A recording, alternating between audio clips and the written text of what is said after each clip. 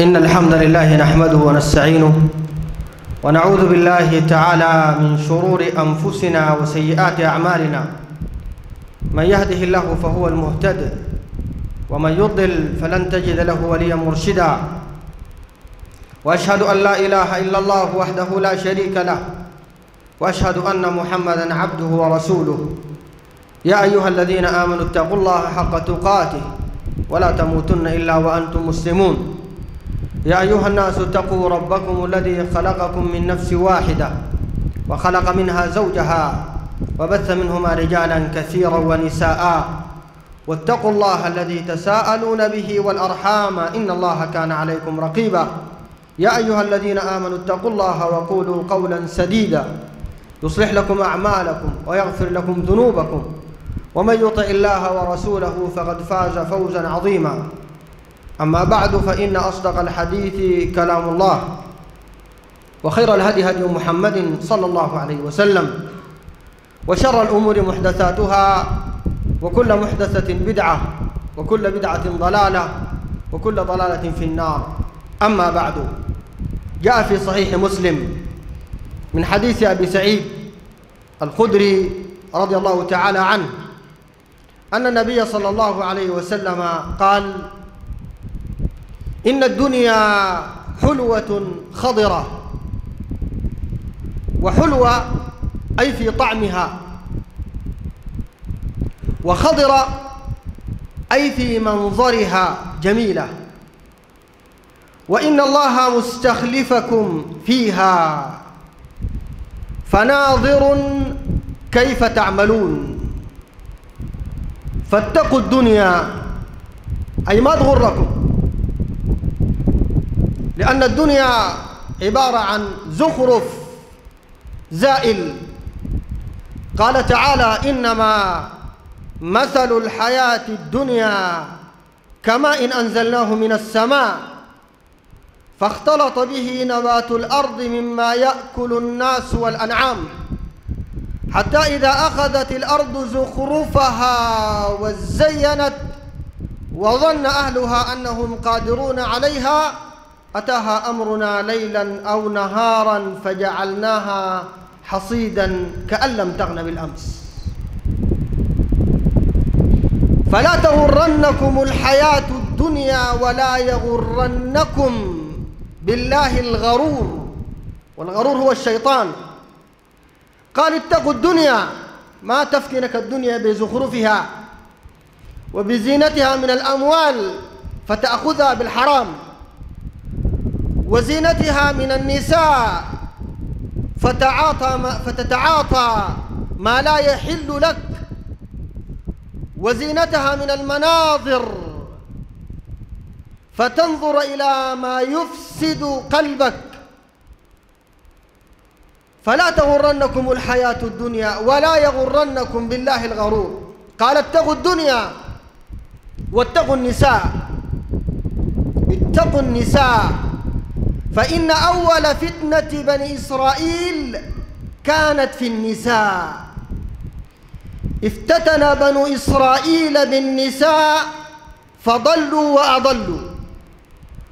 والآن أيها المسلمون الكرام نحن نشهد في هذه الأيام خصوصا حملة ممنهجة لإفساد المجتمع وتضييع الشباب وإهلاك ثروة الأمة من شبابها الصغار اليفع الذين لم يفهموا الحياة بعد وما تمرسوا فيها والحملة الممنهجة هي ما تقوم به منظمات نسوية وفتيات لا والي لهن ولا رجل من ورائهن. مجموعة من الفتيات في المجتمع عملات ما يسمى بمنظمات لا لقهر النساء وغيرها. وتهدف هذه المنظمات إلى إشاعة النساء وفتح باب التفحش واستشراء الفاحشة وإشغال الشباب الأولاد بشهوات النساء كل الهدف. عشان ما يكون في شاب تاني يعرف دين ولا يعرف أخلاق ولا يحترم عرض وليس له هم ولا همة. فيضيع الشباب خلف الفتيات. تتيسر الفاحشة ويصعب الحلال. يضع مجموعة من العقبات أمام الحلال. والحرام ساهل وميسر قدامه. قال العلامة ابن عثيمين رحمه الله تعالى إنما قال النبي صلى الله عليه وسلم واتقوا النساء قال لأن أعداء الإسلام يركزون على جانب المرأة لإفساد المجتمع وأقرب طريق يا أخواننا يفسد به هذا المجتمع عن طريق النساء. قال النبي صلى الله عليه وسلم كما في الصحيحين من حديث أسامة رضي الله عنه ما تركت بعدي فتنة أضر على الرجال من النساء. دي فتنة عظيمة. يا أخي الشيطان ربنا في القرآن اتكلم عنه قال إن كيد الشيطان كان ضعيفا. ولما اتكلم عن النساء قال إن مكرهن إن مكركن عظيم. مكر النساء عظيم وخطر وخاصة على شباب في سن المراهقة يتوقدون بالشهوات ويبقى الحرام قدامهم ساهل على متناول اليد. الآن بيطالبوا بقوانين تسن لهم إنه الفتاة تتزوج بمن شاءت من غير إذن وليها. هذا هو الفساد. هذا هو الفساد في الأرض. لأنه بعد أنت ما بتقدر تحمي عرضك من أي نوع من أنواع الفاحشة.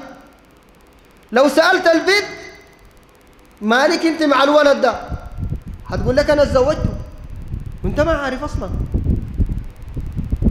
ما في إشهار ولا في إذن بتاع والد. ولا في عدد بيعملوا في المسجد. هذا هو الفساد في الأرض. هذا فساد ما جاءت به الجاهلية الأولى. كان عندهم الزواج في الجاهلية. عندهم زواج. وبتزوجوا وعندهم أنواع من الأنكحة. ومنا أنكحة أقرها الإسلام. والنكاح الموجود عندنا في الإسلام اليوم كان منه موجود في الجاهلية. من أنواع الأنكحة عندهم. ولهذا النبي صلى الله عليه وسلم تكلم عن نسبه الطاهر الشريف قال ليس فيه سفاح. كله كان بنكاح في الجاهلية. اليوم دار يجيبوا لنا طريقة بتاعت زواج ما كانت في زمن الجاهلية الأولى. هذا هو الفساد في الأرض. واعلموا أيها المسلمون الكرام أن المخطط الجاري لهذا البلد ولغيره هو الإلحاد. والخروج من الدين بالكلية وألا يكون ثمة إسلام في هذا البلد ولا في غيره. هذا هو المخطط. يرجعون تاني إلى عبودية البشر وعبودية الأصنام والأوثان ونرد على أعقابنا بعد إذ هدانا الله. كالذي استهوته الشياطين في الأرض حيران. دارين يرجعون حيارة تاني. والسبيل إلى تحقيق الإلحاد في البلد هو عن طريق نشر الفساد الأخلاقي. لأن الإلحاد لا يقبل إلا في جو مليء بالفوضى الأخلاقية. لأن الناس لو بيمشوا المسجد وبيصلوا وبيعرفوا الله وبيعرفوا الدين ها أه؟ وعندهم قيم عندهم قيم أخلاقية وقيم مجتمعية إسلامية رصينة لا يمكن ينتشر بيناتهم الفساد لكن لما يبقى أولادنا بيلهثوا وراء البنات كل هم الولد إنه يلبس لبس جميل ويزركش نفسه بختم وحلق وما عارف شنو وتلقاه مكشب. عشان يمشي يلاقي له بيت. والبيت متاحة معاه يلاقيها في الجامعة ويلاقيها في الشارع ويواعدها بالتلفون. إذا كان بقى ده هم الشاب وسيطرت عليه الشهوة بعد ذاك بيدخلوا على ولي الحاط طوالي. بيقولوا له كل المانعك من شهواتك وإنك تتلذذ بالنساء وتستمتع. اللي مانعك شنو؟ بيقول له اللي مانعك الدين. المنعك الدين. عشان كده الحملة بتاعتهم قالوا إسقاط النظام الأبوي. ما دارين نظام أبوي. وفي الحملة بتاعتهم قالوا إسقاط القيود الدينية. انتبهوا للكلام ده جيدا. لأنه حيبقى معشعش في أذهان الشباب اللي بيسيطر عليهم الشهوة بالطبيعة البشرية. حيعشعش في أذهانهم إنه الذي يمنعهم هو الدين.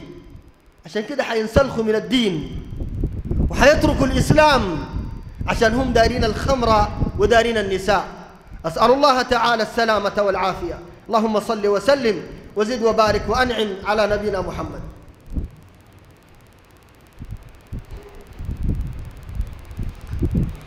الحمد لله والصلاة والسلام على رسول الله. وبعد. المسؤولية كبيرة يا أخواننا قدامنا. والنبي صلى الله عليه وسلم يقول كلكم راع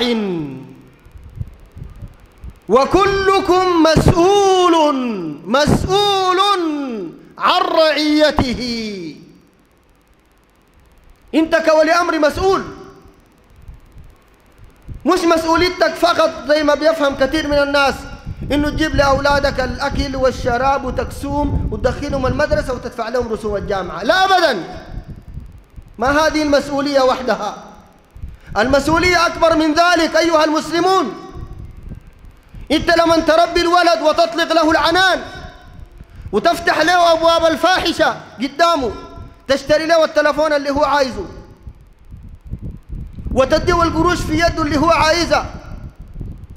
ويطلع متى ما عايز. والبنت تشتري لها الملابس الضيقة. الفاتنة الضيقة. وتخليها تطلع في المجتمع. بحجة إنه دي بنت أنا دي بنت فلان. دي بنت فلان.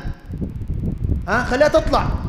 تلبس اللبس الضيق قدام عينك وأنت بالشاهد فيها. وشايلة تلفونها مليان بالأغاني ومليان بافلام الفاحشة ها؟ ومليان بالفيديوهات القبيحة وإنت منشط لها النت بأعلى الباقات. وقاعدة في غرفتها براها بتشاهد ما شاءت. تلقى نفسك ما مسؤول يوم القيامة قدام ربنا؟ انت مسؤول.